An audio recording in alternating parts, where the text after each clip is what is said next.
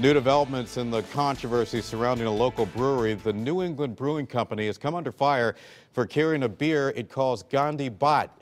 Critics say it's offensive to use the name and image of Gandhi to sell a beer. Now the company says it's getting unspecified threats and the people are making hurtful assumptions about its employees. The company issued an apology shortly after that controversy originally came to light.